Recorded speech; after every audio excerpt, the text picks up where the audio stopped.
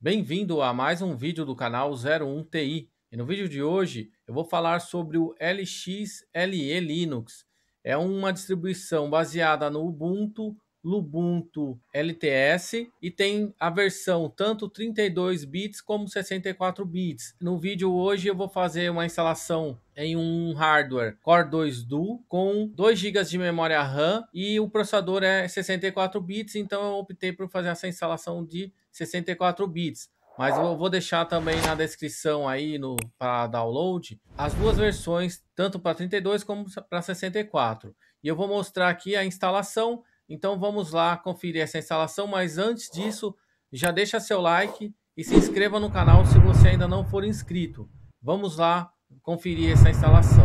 Eu fiz o boot pelo meu pendrive bootável, que eu vou deixar no card acima como fazer, tem um vídeo lá. E na descrição abaixo eu vou deixar o link para o download da versão 32 bits e 64 bits. Essas daqui, essa daqui vocês podem ver que eu estou usando a 64 bits porque esse meu Core 2 Duo aqui ele tem suporte a 64 bits. Então aqui, ó, aqui você pode fazer iniciar um live CD. Esse aqui tem um legacy aqui para se você tiver algum problema no drive, tem a instalação direta, ó, instalação OEM para vender um computador aí com já com ela pré-instalada, main test, check de integridade do disco, HD e tem essa opção aqui para VirtualBox. Então vou fazer aqui a instalação direta. Se você quiser experimentar, você vem aqui em Live CD. Aí não precisa fazer a instalação. Depois, se quiser, lá dentro tem uma, um ícone para você fazer essa instalação. Vamos aqui, ó, Install, Start the Installer Direct. Dá um Enter aqui. Aqui está a telinha de inicialização. Vamos selecionar a nossa língua. Vamos ver aqui, ó, Português Brasil. Continuar. Português Brasil, Português Brasil, continuar. Aqui, baixar atualizações enquanto instalo LXLE. E aqui, ó, instalar os softwares de terceiro. Podem ver aqui, ele tá sempre que ele é baseado no Ubuntu LTS. Então vamos lá, continuar. Aqui vamos, nós temos aqui a, a, a tela de particionamento. Nós temos aqui, ó, avançado, temos apagar o disco Nesse momento aqui, eu vou fazer a instalação normal. Tem o um vídeo aí faz, é, mostrando como faz o, o particionamento avançado, tá? Vou deixar no card aí em cima para vocês. Então aqui é só clicar em instalar agora. Aqui ele vai dar um resumo do que ele vai fazer, né? Vai fazer a nossa barra, que é a nossa raiz. Ele vai fazer com ext4. Então só clicar em continuar. Aqui minha localização já está certa. Estou em São Paulo. A de vocês aí tem que selecionar. Só clicar em continuar. Aqui eu vou dar meu nome. Rogério Sampaio. Vou dar um nome aqui para o computador. 01 TI. O usuário eu vou deixar aqui como Rogério. Vou dar uma senha. Vou repetir essa senha aqui logo abaixo. E aqui eu posso iniciar automaticamente ou solicitar minha senha para entrar. Eu vou deixar como solicitar minha senha para entrar e vou clicar em continuar.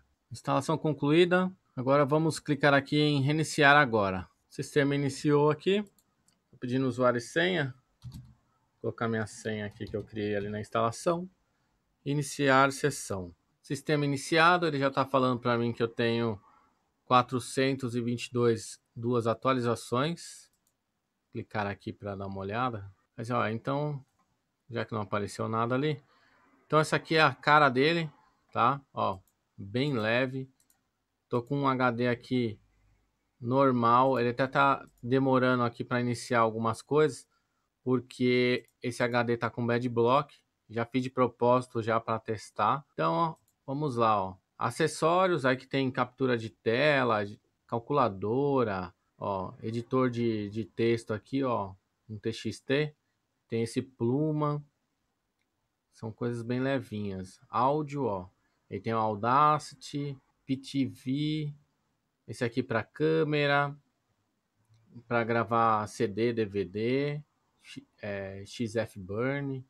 Escritório, ele tem o AbiWord, né, padrão, tem esse de calendário, Gnumeric, bem basicão ali. Tem esse daqui é para gráfico, digitalização de imagens, é bem basicão, mais para uso desktop mesmo, né? Ó, Chatzilla, Linfone para VoIP, Transmission para BitTorrent, Mail, News RSS, tem outras coisas aqui, ó. Tem aí tem ele, o navegador dele é esse Cia Monkey Browser, tá? Já já eu inicio ele ali. Jogos, tem alguns joguinhos aqui, é acessibilidade, né? Aqui é o é hardware. Deixa eu ver aqui, security. Tem essas tem configuração do firewall, já legal, ó, já vem com firewall, usuários e grupos, ferramentas, ó, tem aqui para configurar o samba, data hora, tem bastante coisa aqui. Software, é, software para procurar instalação, utilitário, bastante coisa aqui, mas vamos ali então, né? Ó, vamos aqui primeiro nessa, então, configuração do, moni do monitor. Se, você quiser, ó, você pode vir aqui e fazer as alterações, ó, tá? Hardware, gerenciador de driver. Aqui ele vai pedir minha senha. Só colocar a senha ali, usuário Rogério. E aí você vai ter aqui esse gerenciador de driver. Se você tiver, vamos ver ali se tem driver de terceiro. É que esse computador não vai ter, né? Mas se tivesse, por exemplo, uma placa de vídeo da Nvidia, uma placa Wi-Fi aqui que tivesse um driver de terceiro, ele já vem aqui detecta para você e você só faz a instalação. Bem fácil. Aqui, ó, não, não achou nenhum, nenhum driver, tá? Vamos lá. Gerenciador de drive. Método. Aqui é se você quiser configurar sua placa de rede. Então vamos aqui internet, né? Vamos abrir um navegador. Ó, legal. Deixa eu ver aqui www.01ti.com.br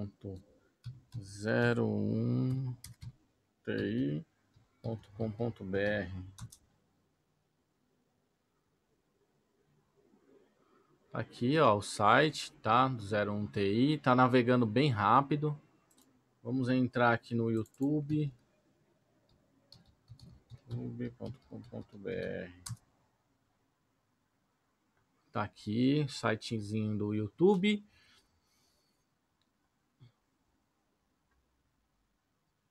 Ele pega meio que inglês, né?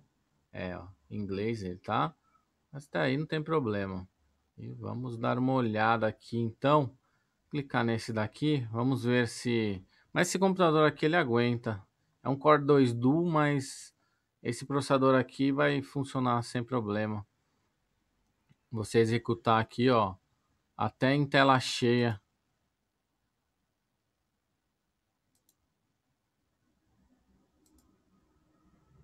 Ó, full screen.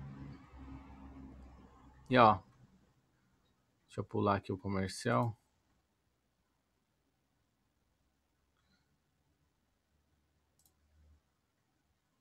E aí, ó, tá funcionando sem problema. Para quem tinha curiosidade. Tá aí, ó, ele só tem 2 GB de memória, tá esse computador. E tá aí. Aqui é o tempo, ele mostra aqui nesses desenhos do Shell, tá, ó para você recuperar um computador mais antigo para navegar em redes sociais, essas coisas, e aqui ó, o terminal, o name menos A. Aqui ó, o kernel dele 4.15, porque ele utiliza o Ubuntu LTS, então ele fica com esse kernel um pouquinho mais antigo, mas até aí não tem problema, ele está atualizado. Deixa eu entrar dentro do barra proc. Então, ls aqui, ó, cat, para mostrar para vocês, ó, CPU info, tá? E aqui, ó, está aqui, ó, processador Intel Core 2 6300, tá? De um 1.86 GHz. Ele tem dois núcleos, tá? Esse aqui é o processador, ó, 64 bits. Cat Ó, memória. Memória aqui, ó, total ó, de 2 GB. tá? Ó, 2 GB total. Vou ver se tem mais alguma coisa aqui. Ver a versão. Ó, é isso mesmo. Tá? Então é um Intel Core 2 Duo de 1.86 GHz e a memória ali de 2 GB. Vou instalar agora o HTOP rapidinho. Vou mostrar para vocês ali o que, que ele dá de consumo. Tanto de memória como de CPU. Vamos lá, ó. HTOP.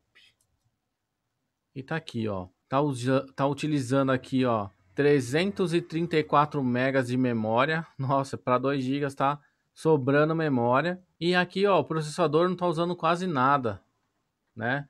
Deixa eu abrir aqui esse navegador para ver como que vai ficar o consumo. Deixa eu entrar no site, entrar no, deixa eu entrar no YouTube, né? YouTube, deixa eu ver aqui. Deixa ele executando ali. Ó, com o YouTube rodando aqui, ó, tá rodando aqui o YouTube. Ele subiu para 668, 650 por aí. E o processador, ó, ele tá em 31% com, e, com o sistema rodando aqui. Vamos ver aqui se jogando para para full, como que ele vai ficar, né? Ó, vamos ter que ir lá rápido lá. Ó, 700. Ele vai para sempre para conseguir entregar ali para você o mais rápido possível, mas olha, já logo já cai. Então, no máximo aqui de memória está usando 700 megas. Então é isso. Para utilizar aqui até 1 GB de RAM, você consegue aí utilizar sem problema algum. Então, pessoal, era isso aí que eu tinha para falar para vocês. Já deixa seu like, se inscreva no canal e ative o sininho. Obrigado por ter assistido e até o próximo vídeo.